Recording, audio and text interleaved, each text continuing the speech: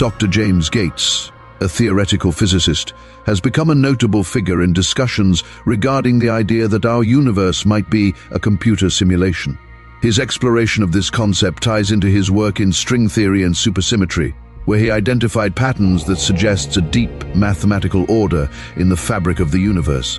One of the most intriguing aspects of his research is the discovery of error-correcting codes, the same kind of codes used in digital systems, raising the possibility that the universe operates under principles similar to those governing computer programs.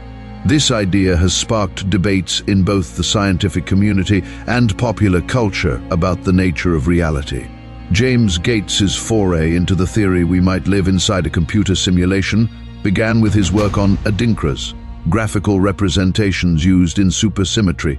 Supersymmetry is a theory that attempts to unify the forces of nature by suggesting a symmetry between matter particles called fermions and force-carrying particles called bosons. In his work, Gates found that certain types of adinkras contain structures that resemble error-correcting codes, the same codes used in computer systems to detect and correct errors, ensuring that data is transmitted accurately. This discovery raised the possibility that the fabric of the universe is based on computational principles.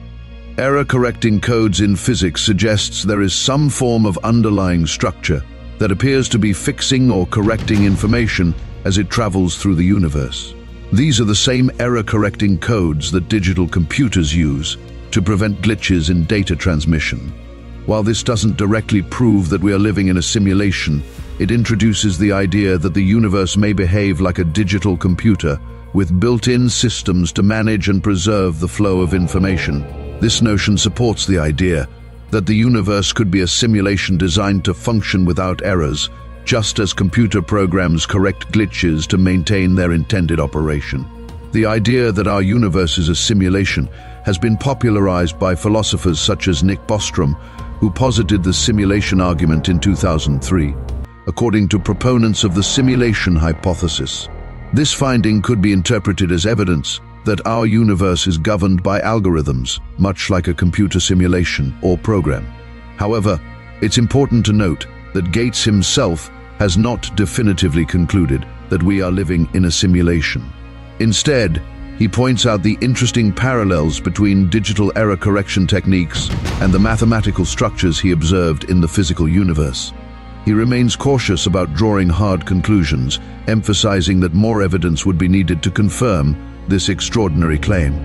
While the discovery of error-correcting codes in the mathematical structures governing the universe is fascinating, it has also been met with skepticism. Many physicists argue that just because the universe appears to operate in ways that resemble computational processes, it does not mean that it is a literal simulation. The universe could simply follow mathematical laws that, coincidentally, resemble computer algorithms. Another key criticism is that the simulation hypothesis is difficult to test or falsify. The scientific method relies on hypotheses that can be proven or disproven through observation and experimentation. The simulation hypothesis struggles in this regard, even if we find more evidence of computational processes in the universe. It's going to be hard to determine whether these are a natural part of physical reality or the result of a programmed simulation. The idea that our universe is a simulation may reflect a human reliance on technology, digital computing, and the language we use to describe the universe. In essence, it is being shaped by the very tools we invent. In earlier times, people might have compared the universe to a clockwork mechanism or an intricate machine because those were the dominant technologies of the day. Similarly, today's discussions about the universe being a simulation may reflect our own preoccupation with computers and digital systems. James Gates's work has opened up new areas of inquiry in theoretical physics, particularly in understanding how mathematical structures relate to the physical universe. The continued exploration of supersymmetry, string theory, and other aspects of quantum mechanics may yield more clues about whether the universe operates in a mathematical framework used in computer algorithms. While there has been no definitive proof confirming the simulation hypothesis, the debate continues to draw interest from a variety of fields, including computer science, physics, and philosophy. Some researchers are even exploring whether future quantum computers could simulate small-scale physical systems and offer a potential method for testing the feasibility of simulating an entire universe. Additionally, physicists like David Z. Albert and Sean Carroll have discussed whether the fundamental nature of reality could ever be fully understood given our current technological limitations. New discoveries in quantum mechanics and cosmology could either bolster or refute the simulation hypothesis. For now, Gates's discovery remains a tantalizing possibility that challenges us to rethink the boundaries between physics and computer science. His discovery of error-correcting codes in the equations governing the universe supports the idea that reality may have computational properties based in math, a similar process our computers use.